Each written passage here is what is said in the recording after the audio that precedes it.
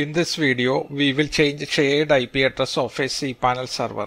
If you have more than one IP address on a server, when you create a new website, it will get created on the shared IP address of the cPanel server.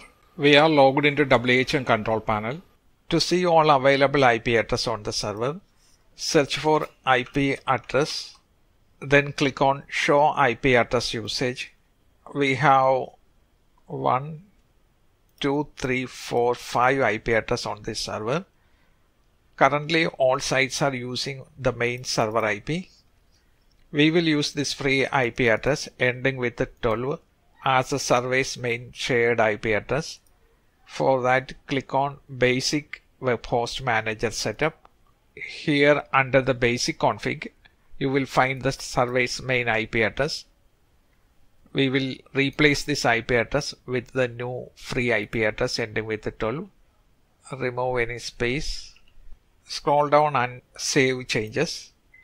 Now if you create a website, it will be created on the new IP address ending with 12.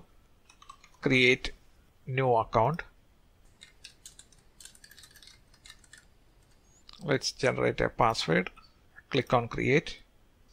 Here you can see the IP address. It is the shared IP address we have set. Thank you for watching. Hope you find the video useful. If you like the video, please subscribe for more videos like this.